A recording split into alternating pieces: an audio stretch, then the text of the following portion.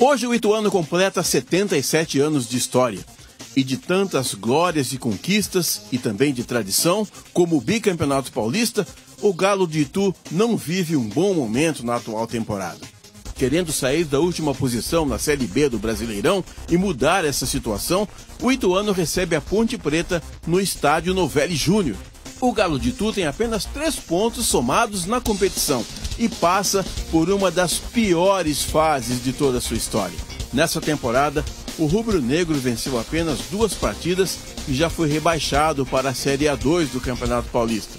Para a partida deste domingo, o treinador Alberto Valentim confia nas sessões de treinamentos diários e sequência de jogos dentro de casa para que o time volte a vencer. Ajustes diários que a gente tem que fazer em relação a aproveitar bem a semana, né, com as nossas sessões. Primeiro, ver bem aquilo que nós fizemos friamente, com calma, desse jogo, as coisas boas também que nós temos que repetir, já contraponte para essa sequência que nós vamos ter aí agora em casa, dois jogos, mas pensando único exclusivamente na ponte agora para nós somarmos os três pontos.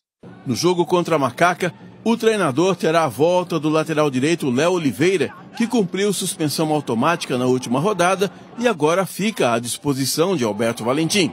O professor deve manter a base do mesmo time que iniciou a partida na última rodada contra o Mirassol. Ituano e Ponte Preta se enfrentam domingo, às quatro da tarde, no estádio Novelli Júnior, com transmissão ao vivo na tela da Band.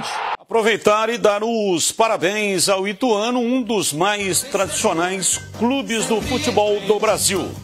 Campeão paulista, campeão da Série B, campeão da Série C. É realmente um clube de muita tradição. Está passando por um momento estranho, esquisito, mas a história ninguém mexe. E o Ituano tem uma grande história. Parabéns, Ituano, você é muito forte e a sua grandeza está refletida naquilo que você fez pela história do futebol brasileiro. Parabéns!